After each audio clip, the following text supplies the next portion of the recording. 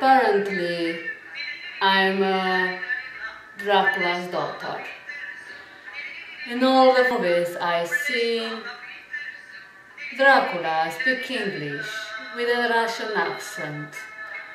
So I will try to do the same thing and I would like to use all to all your Romanians the best wishes for your national days.